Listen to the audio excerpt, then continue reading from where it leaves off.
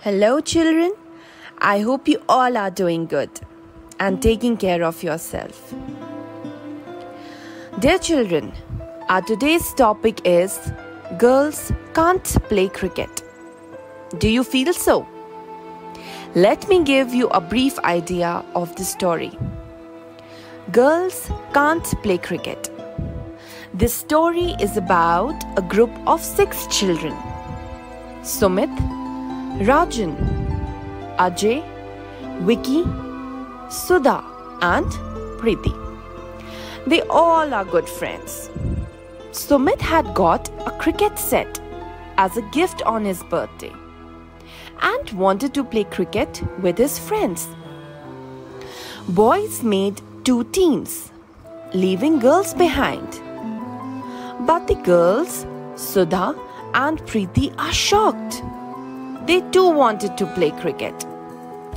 They are asked to clap and shout for any one of the two teams. This upsets the girl and they went back home. They wanted to prove boys wrong, who thought that girls can't play cricket. Sudha's mother heard them and decided to help them.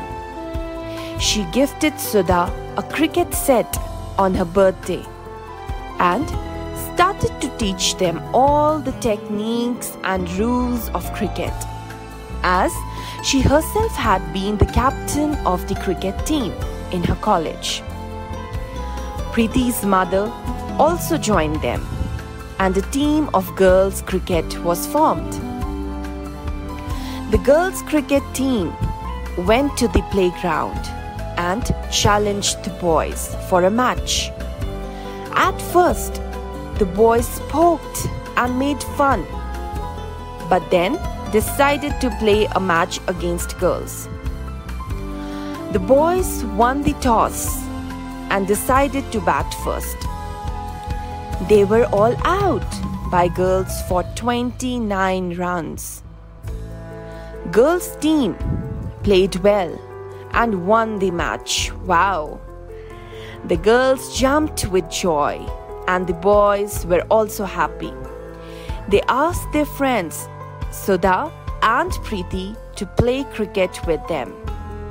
As they have realized there is nothing in the world which boys can do and girls can't.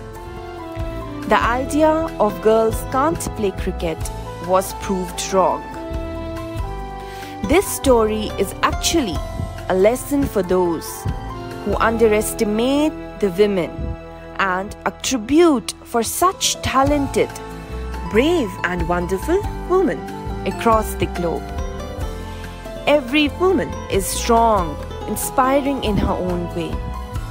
It has been rightly said that Mother's lap is the first school of every human being, and fortunately, every mother is a woman.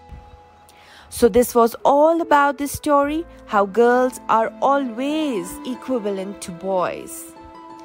There is nothing in this world that girls can't do, that girls can't dream of.